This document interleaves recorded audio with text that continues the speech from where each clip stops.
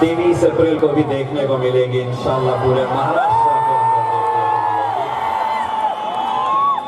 ये जो सरों का सरमंदर हम यहाँ पर देख रहे हैं 20 तारीख के दिन, जिस औरंगाबाद के जबिंदा ग्राउंड के ऊपर वंचित बहुजन आघाड़ी का एक अजीम और शान जलसा हुआ था। इंशाल्लाह उसी ग्राउंड के ऊपर दोबारा बैरिस्टर असदुद्दीन अवैसी साहब और प्रकाश अंबेडकर साहब वहाँ पर एक जलसा लेंगे। दोस्तों, मैं बाड़ा साहब के आशीर्वाद से असद भाई के दुआओं से औरंगाबाद से मैं भी वंचित बहुजन अघाड़ी का एक कैंडिडेट हूँ। पिछले कुछ दिनों से मैं सुबह सात बजे निकलता हूँ प्रचार करने के लिए। रात देर तक प्रचार करता हूँ। एक दिन रात में जब लेट पहुँचा घर पे तो बीवी बड़ी गुस्से में थी। मैंने पूछा, क्या हुआ? तो बोले, अपना चौकीदार बदल दो। मैंने कहा, ऐसा क्या हो गया? तो बोले हर थोड़ी देर को वो बाहर चला जाता है चाय पीने के लिए। तो मुझसे कही कि एक ऐसा चौकीदार ढूंढो जो चाय भी बना लेता है। मैंने कहा, उसके लिए तेईस मई तक इंतज़ार करो, एक चौकीदार मिलने वाला है, उसे भी एक ऐसा चौकीदार मिलने वाला है जो चाय भी अच्छी बना लेता है। बाड़ा साहब की इजाज़त रहे तो बाड़ा साहब रख लिया जाए। मोदी, तू तो गयो। भाइयों, मैं यहाँ पर इसलिए आया हूँ कि मैंने उस जलसे को देखा था कि जहाँ पर वंचित बहुजन आघाड़ी का जन्म हुआ था। उसके बाद लोगों को ऐसा लगने लगा था कि क्या ये मुमकिन हो सकता है। लेकिन आज महाराष्ट्र की जनता हम सलाम करते हैं माननीय बाड़ा साहब अंबेडकर जी को, असद अवैसी साहब को कि जो लोग समझते थे कि ये नामुमकिन सी बात है, उन्होंने मुमकिन करके दिखाया है।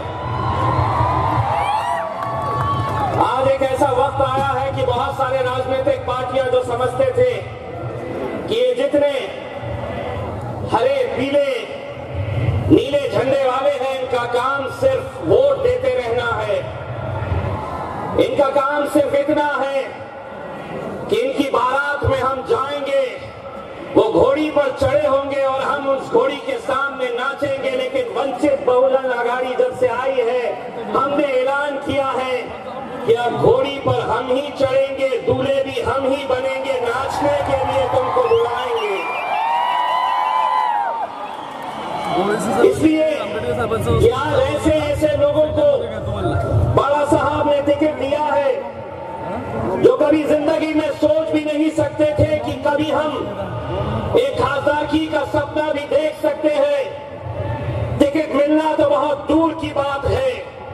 साहेब। जहाँ तक शोलापुर की बात करें, मैंने बाड़ा साहब को फ़ोन करके उस दिन ये बात कही जब मैंने लाखों की तादाद के अंदर शोलापुर की सड़कों पर एक सरों का समंदर देखा तो मैंने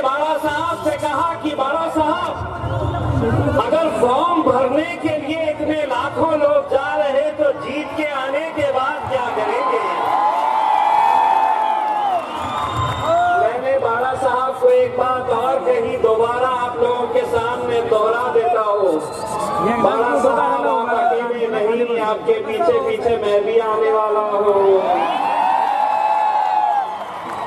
एक गेट से असद साहब जाएँगे, दूसरे गेट से बाड़ा साहब जाएँगे बाड़ा साहब के पीछे पीछे मैं भी आऊँगा और मेरे पीछे और भी बहुत सारे जितने भी कैंडिडेट दिए हैं और तब जाकर जब हम पार्लियामेंट के अंदर पहुँचेंगे तो मजबूरी हो जाएगी। अमित शाह की हमें देखकर ये चिल्लाने के लिए कौन आया कौन आया? और उस दिन नरेंद्र मोदी तुमको भी चिल्लाना पड़ेगा, शेर आया शेर आया। और एक बात मैं आप लोगों से हाथ जोड़कर अपन गुजारिश करना चाहूँगा। हम सभी लोग, बाड़ा साहब को और असद अवैसी साहब को सुनने के लिए आए हैं। लेकिन मैं आज ये मौके के ऊपर असल भाई को, बाड़ा साहब को ये कहना चाहता हूँ कि हमने बाड़ा साहब को अपना बड़ा भाई माना है और जैसा भी वारिस पठान ने बताया है कि शायद ही इस मुल्क के अंदर कोई ऐसा कैंडिडेट होगा जिसका इलेक्शन कल सुबह है और वो अपने बड़े भाई को जिताने के लिए हैदराबाद छोड़कर सोलापुर शायद ही कभी ऐसा हुआ होगा। मैं तो सोचते ही ये रहा हूँ कि कैसा ये मुमकिन हो सकता है। लेकिन हमें मालूम है कि असद साहब हैदराबाद में नहीं है, आज शोलापुर में है। लेकिन असद भाई, यहाँ पर जितने लोग बैठे हैं, चाहे किसी भी समाज, किसी भी धर्म और किसी भी मज़हब के हो, ये आपके लिए आज रात शिद्दत से दुआ करेंगे कि आप इतनी भारी अक्सर से